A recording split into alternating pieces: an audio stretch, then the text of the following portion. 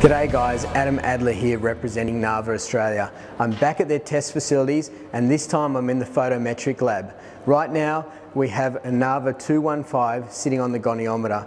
This allows us to actually move the light from side to side of centre, so 80 degrees either side of centre and then we can actually accurately capture the spread that the light produces.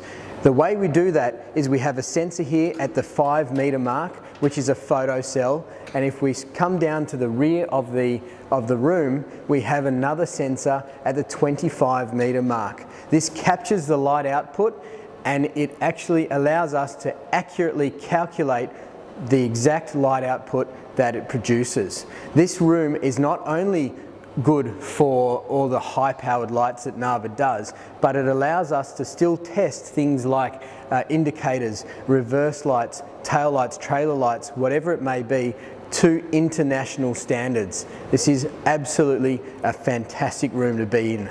Guys, like always, remember, if you want to leave a comment below of something you want to see moving forwards, please do so. Thanks for watching.